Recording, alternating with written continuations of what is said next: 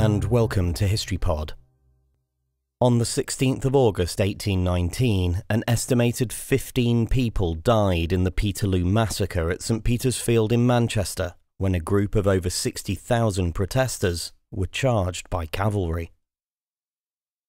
The protesters had gathered to hear the radical speaker Henry Hunt demand parliamentary and social reform.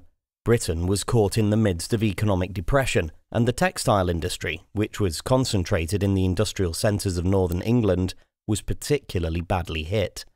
Factory owners cut wages by as much as two thirds, which, combined with the increased price of grain due to the corn laws that imposed tariffs on cheaper imports, led to workers facing famine as they could no longer afford to buy food.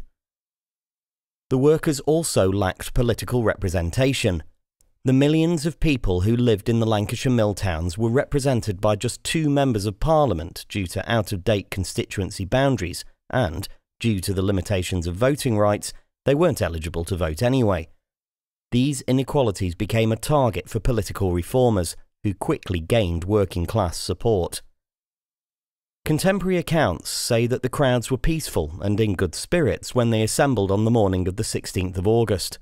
However, the chairman of the magistrates was concerned by the enthusiastic reception when Henry Hunt arrived and ordered the local yeomanry to arrest him.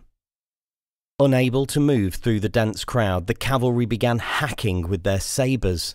The melee was interpreted by the magistrates as the crowd attacking the yeomanry, and even more cavalry was sent in. The crowd dispersed within ten minutes, but eleven people died on the field. An estimated 15 people died as a result of the day's events, and approximately 700 others were injured.